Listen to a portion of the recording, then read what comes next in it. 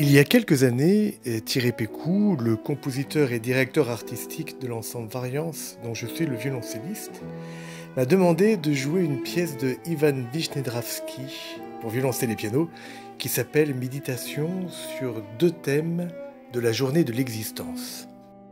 J'ai demandé à mon fidèle ami et chambriste François Daudet, avec lequel je joue depuis maintenant une vingtaine d'années, de bien vouloir partager avec moi ce projet et il a accepté. J'ai eu envie de l'enregistrer en mettant autour de cette œuvre de Vishnegravsky des œuvres de Scriabine, dont Vishnegravsky était particulièrement admiratif, une œuvre de Tchaïkovski extraite des saisons, et pour finir Rachmaninoff, sa vocalise et sa sonate grandiose. C'est un enregistrement constitué de ce répertoire russe, passionné, mélancolique et tellement expressif.